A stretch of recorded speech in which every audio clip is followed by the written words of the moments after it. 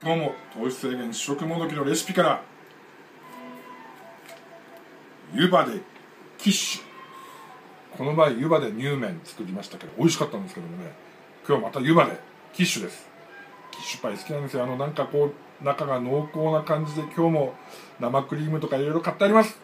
楽しみです、はい、今日はですねこのクレソンとかねそれから生クリームハム。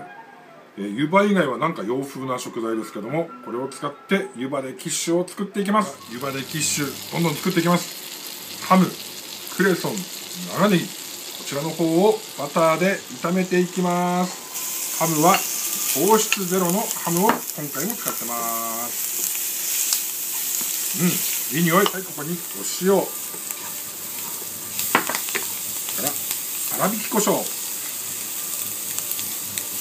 それとナツメグあ入れすぎちゃったかな。大丈夫だな。はい。どんどんいきます。これは溶き卵ですね。溶き卵に生クリーム。生クリームを入れます。そしてチーズ。チーズを入れていきます。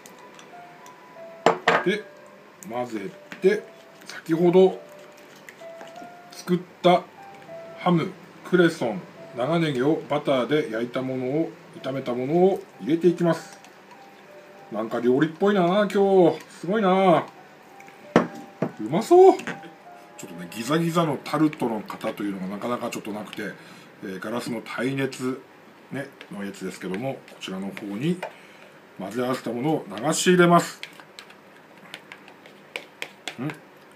で先にこちらの方を焼いていきます。だいぶ焼けてきました。いい匂いしますね。では湯葉を水で戻して4枚重ねてます。これを上手にやらないとな。乗っけます。乗っけてちょっとこうね中側にこうやっていきます。折っていきます。あちゃこれに切り込みを先に入れます。なんで切り込み入れるんですか？えっ、ー、と湯葉が膨らみすぎちゃって、はい、破裂するのかな分かんないそこまでくるか分かんないですけど膨らみすぎちゃうらしいです。はい。よいしょ。でバターを上に乗っけていきます。これマジうまそうな予感するんですけど監督。ねはい、さあこれをもう一度オーブンで焼いていきます。できました。湯葉でキッシュ。めっちゃうまそう。匂いがすごいんですよね。これなんか今まで一番料理っぽくないですか？監督。はい。ねえ。本当になんか早く食べたいです。じゃあキッシュ。湯葉でキッシュいただきます。今日は監督も一緒に食べましょう。はいいただきます。すっごいいい匂い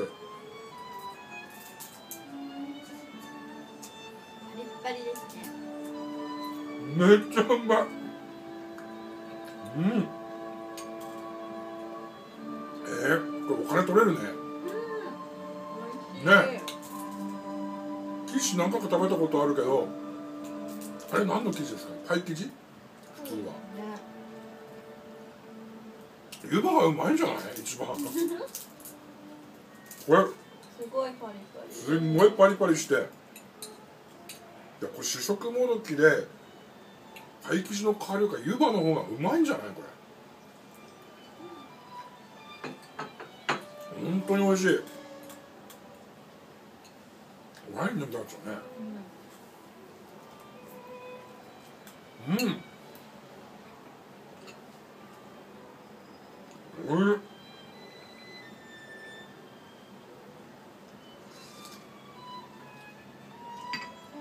オーブンレンジってよかったですね。はい。なんか新婚生活みたいなどんどんなんか 言わないでくれって感じ。い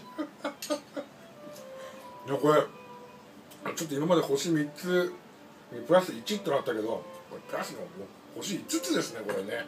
今言ったら。ついに最高の点数が出ました。湯葉でキッシュ。めちゃうまです。ごちそうさまでした。ありがとうございます